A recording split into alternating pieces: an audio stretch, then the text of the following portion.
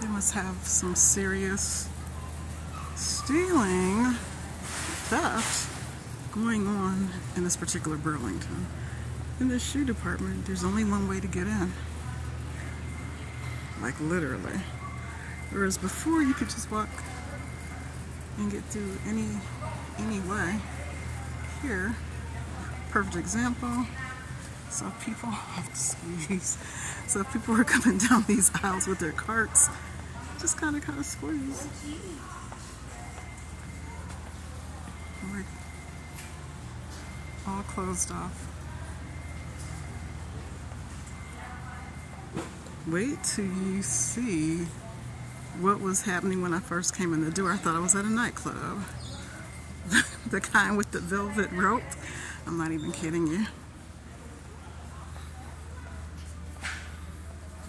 Been to a club where they had, uh, you know, like VIP.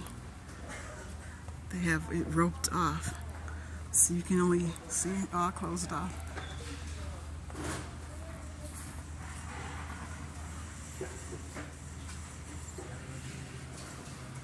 So I had to wait for the guy to uh, remove the, don't don't know what to call it. Let's call it the velvet rope. He had to remove it to let me in. So I didn't see anything I wanted to purchase. So let's see what happens when it's time for me to leave out once again. One way in, one way out of the shoe department.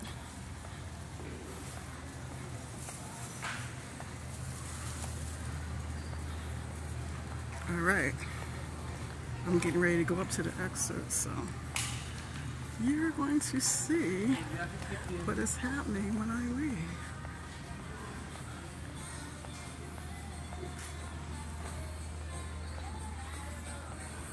So, how do I get up?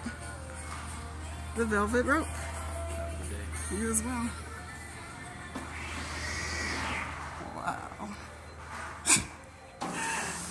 look at this.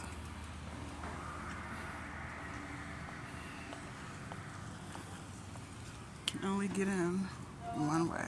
That's crazy.